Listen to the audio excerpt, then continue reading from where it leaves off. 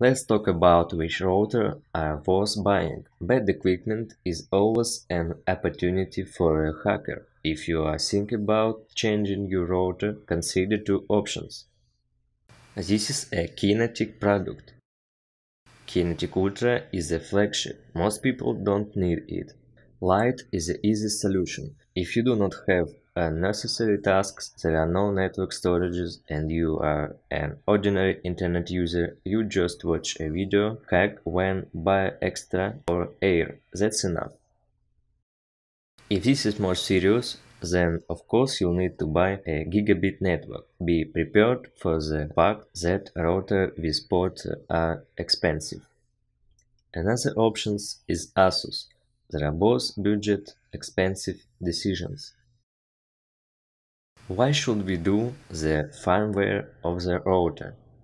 Over time, firmware upgrades individual modules. A new version of the firmware adds new features that were previously available in hardware but not implemented in software as the stability of the work of router may improve.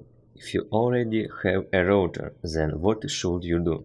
You need to install at least custom firmware. Custom firmware is a firmware which uh, was modified both by one user and group of users. That is, firmware created not by an official manufacturer.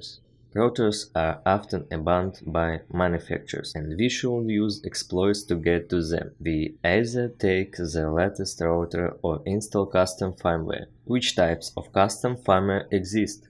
DDWRT is the most common firmware and excellent custom. It can be installed on many different products. To find this firmware, use Google. Look at your version of the router and upgrade the firmware. Or you can uh, use an alternative to our Russian forum, where you can find all detailed instructions.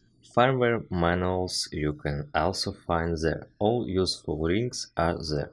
If you have ASUS, then it's good to see the Merlin WRT firmware. This is based on ASUS firmware. It looks pretty much the same.